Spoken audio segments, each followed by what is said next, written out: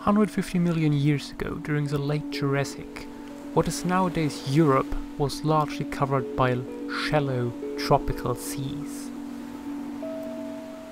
These seas were dotted with thousands of small islands that were inhabited by dozens of species of different pterosaurs, flying reptiles. Most famously, a couple of small towns in southern Germany have yielded hundreds of their fossils. But recently a quarry near Wattendorf, much further north, has brought to light an abundance of fossils from this time. Besides turtles, fish and even marine crocodilians, the most famous find from this quarry is a nearly complete specimen of a new kind of pterosaur. This new species is called Balaenognathus maeuseri, and while not especially large, it shows many other spectacular features.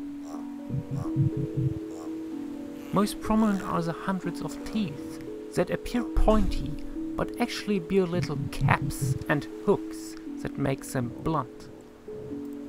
In addition, the jaws are curved upwards and their tips are completely toothless, while the palate bears a large keel that is nearly as deep as the lower jaw.